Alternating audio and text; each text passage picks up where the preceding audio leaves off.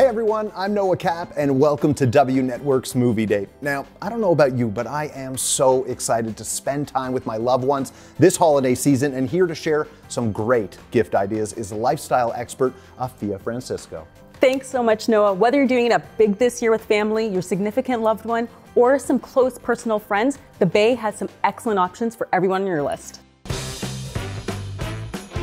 Afiya, what's up first? Okay, if you can't think of what to get your loved one this Christmas, you can't go wrong with perfume. For a hint of glam and playfulness, Carolina Herrera's Very Good Girl Eau de Parfum is a lovely choice. But if you prefer woodsy with a hint of vanilla, Paco Rabanne's Phantom Eau de Toilette is a great option. I mean, come on, look good and smell good? It's perfect. You said it. Another great gift idea is something that's warm and cozy. Ugg slippers. Our Canadian winters are no joke, so something that's warm, cozy, and stylish is something that every wardrobe needs.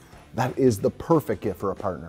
Right? Yeah. And lastly, for the person on your list who really loves to capture special moments, a Fujifilm camera is lightweight, fast, and so much fun. These are awesome. Say cheese, Noah.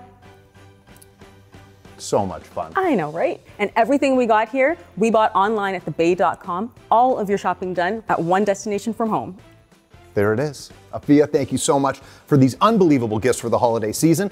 Thank you to you for watching, and we'll see you next time on W Network's Movie Date. Presented in part by The Bay.